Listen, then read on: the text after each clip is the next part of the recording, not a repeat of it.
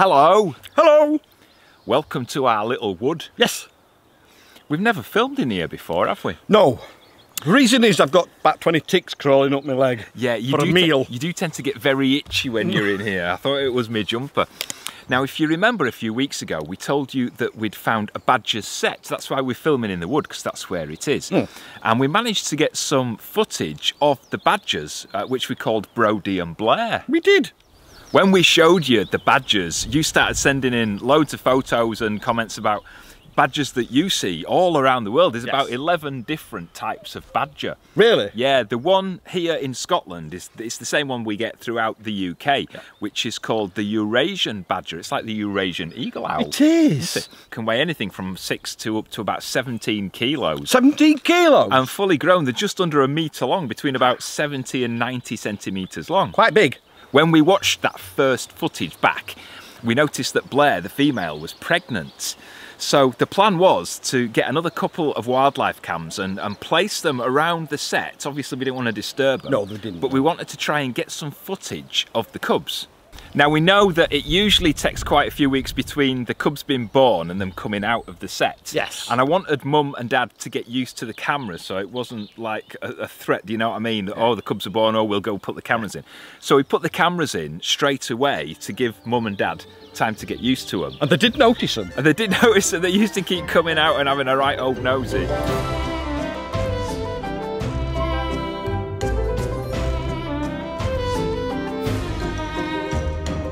Now, what I have noticed when we looked at the footage is that Dad, Brody, was always the first one out. And he used to come out about half past seven every evening and he'd stay out all night, hunting, I think. Probably. And he'd come back about half past five in the morning, dirty stop out. it's not unusual for badgers to have other sets around the area that they live. The main set is where they live and sleep and bring up the young. Yeah. But if they're out hunting, it's a good idea for them to have other safe places. I don't know, you might get a hedgehog on steroids or a Randy Fox stalking them. You never know, do you? You're a Randy Fox. So, so they have these secondary sets around where they live.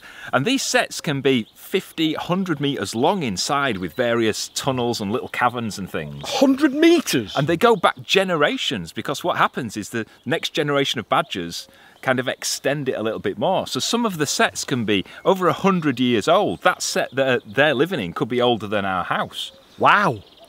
Now, after Brody's gone hunting, it's usually Blair's turn. And the clue that we had that she'd had the cubs was that when we watched the footage back, she was never leaving the set. She was coming to the front, but she was never actually leaving it. Now, the cubs don't normally come outside the set until they're about 8 to 12 weeks old. So it was really exciting when I saw this footage of them appearing for the first time, which probably means they were born early in February, not long after we saw that first footage of a pregnant Blair. Wow. For the first few days, Mum would come out first just to have a sniff about and make sure it was safe for the kids. And then very slowly they started to edge their way out. You can see how nervous they are. A mum who's keeping a close eye on them, not letting them out of her sight for the first week or two.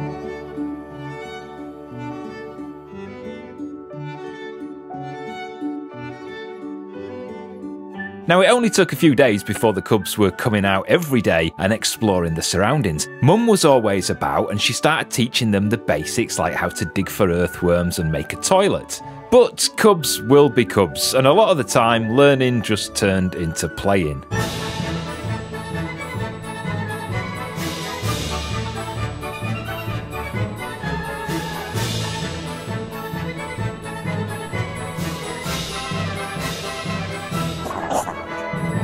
As the days went by, they also took more of an interest in posing for the cameras.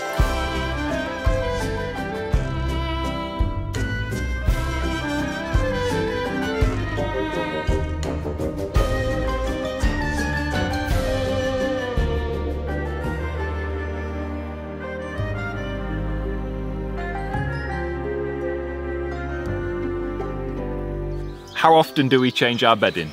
Oh, probably when I have to hit it with a stick. Oh, he does as well. It's spare bedding, not our bedding. No.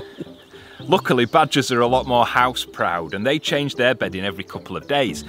And that's for a couple of reasons. One, it gets a bit stuffy in Yeah. those little tunnels, but it also keeps down the fleas and the lice.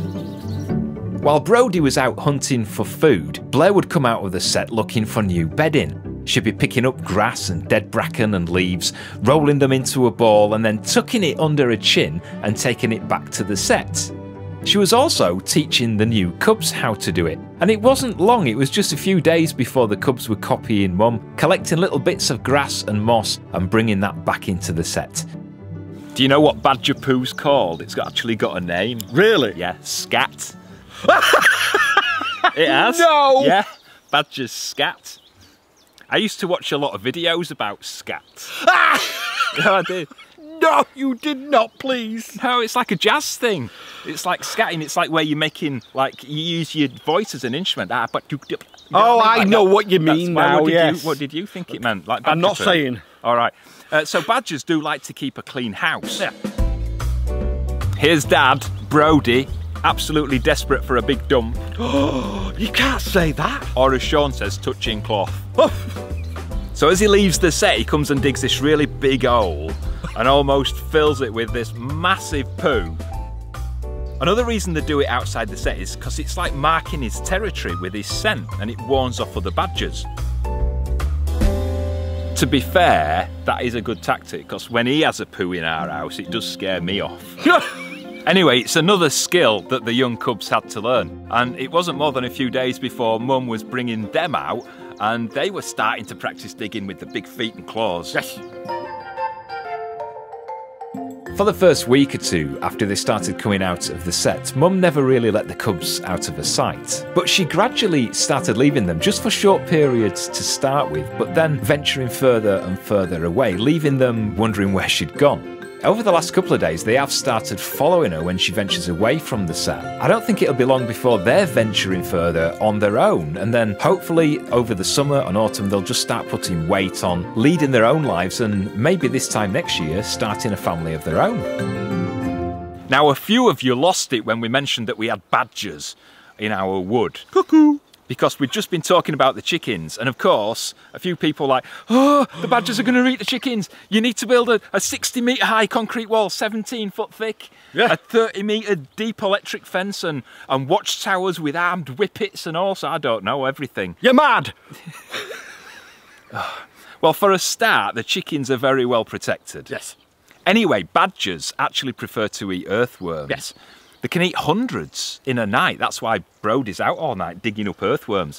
It makes up about 75% of the diet. Three quarters of the diet is worms. Can you imagine that? Wow. Uh, I should have had like spaghetti, shouldn't I, to demonstrate. Oh. Now, if they can't find worms, which there are enough worms here, believe me, then they'll go for things like slugs or beetles or even uh, like small dead mice and small dead birds. Wow. So chickens are kind of right at, well, near the bottom of the list, and they'd have to be small chicks and dead or really helpless, or not have another 20 fighting for them anyway. Wow. So our chickens are actually quite safe. And we've had them for almost a year, and nothing's happened. No. So we're not worried about that at all.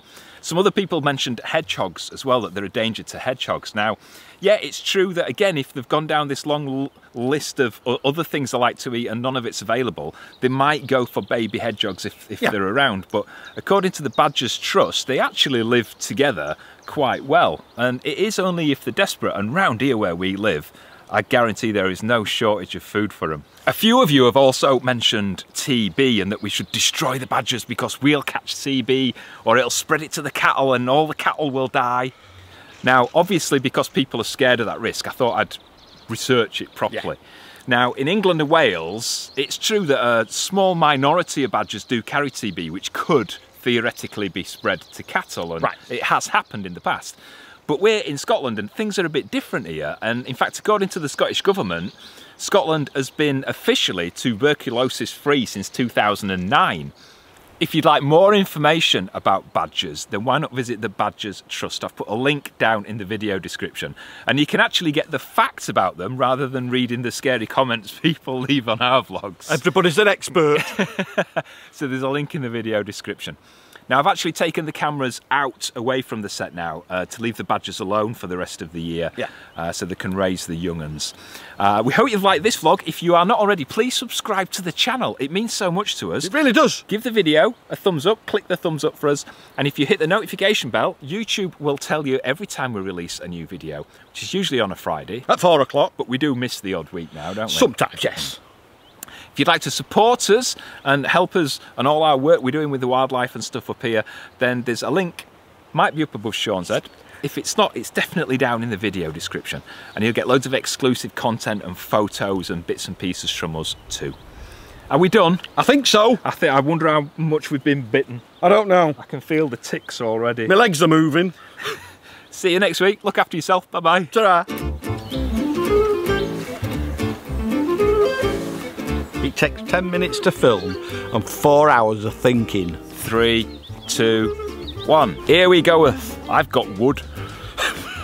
no, I've got a wood. Brody and Blair, we called them. Yes. I've forgotten already. See? Uh, There's a song in my head that's going to be on this vlog and I can't get it out of my head. It's, it's like. I had a bit of research, bit of, lo- of a look, and, and it. I, I, I, and, and, She was. She were up the duff. she were up the duff.